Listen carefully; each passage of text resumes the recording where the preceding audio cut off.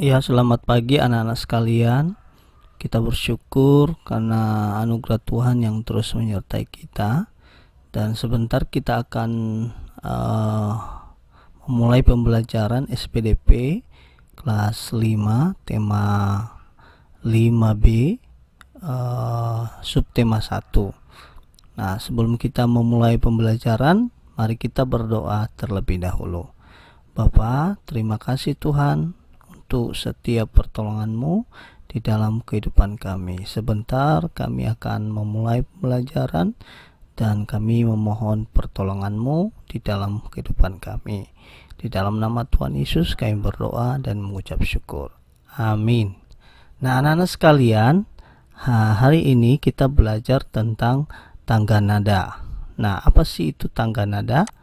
Mari kita lihat bersama. Tangga nada adalah urutan nada berjenjang dari tingkat terendah sampai tertinggi. Jadi kita tahu bahwa uh, tangga nada itu dimulai dari uh, tingkat terendah sampai tertinggi ya.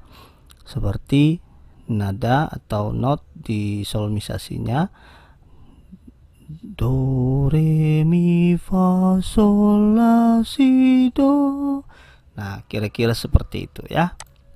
Nah, ada dua jenis tangga nada. Yang pertama tangga nada diatonis dan yang kedua tangga nada pentatonis. Nah, tangga nada diatonis terdiri dari tujuh buah nada.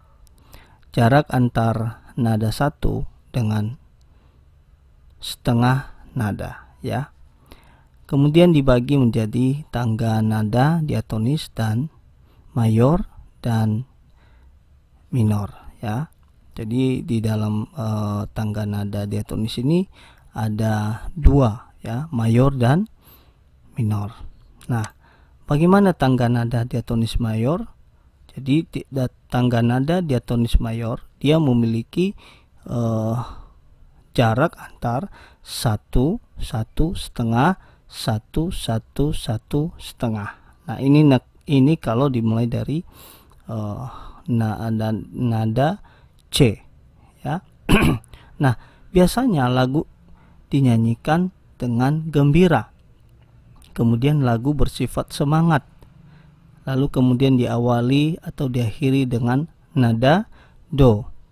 Lalu kemudian beberapa diawali dengan nada sol atau mi Nah, anak-anak sekalian, lagu yang biasanya dinyanyikan dengan uh, uh, diatonis mayor ini adalah misalnya Garuda Pancasila, uh, 17 Agustus tahun 45 atau juga lagu-lagu yang bersemangat uh, Indonesia Raya. Indonesia tanah airku. Nah, itu seperti itu. Oke. Kemudian tangga nada diatonis minor. Tangga nada diatonis minor itu memiliki jarak antar satu setengah satu satu setengah satu satu. Nah ini biasanya dimulai dengan uh,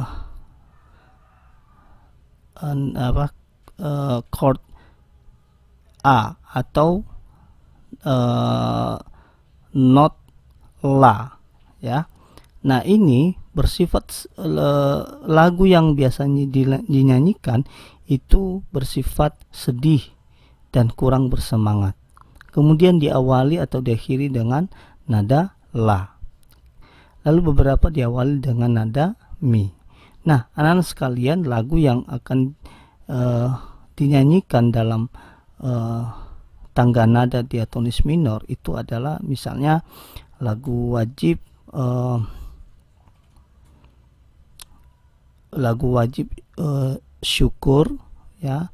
Kemudian lagu wajib uh, mengenai eh, lagu-lagu uh, yang uh, sedih ya gugur bunga ya lagu wajib mengheningkan cipta. Nah itu biasanya dinyanyikan melalui tangga nada diatonis minor. Nah kemudian tangga nada pentatonis Nah, tangga nada pentatonis itu terdiri dari lima nada. biasanya dipakai pada musik tradisional. Nah, ini contohnya seperti ini ya. Gamelan, pelok dan sledro. Nah, ini saja yang kita belajar anak-anak. Uh, kiranya Tuhan berkati kalian semuanya.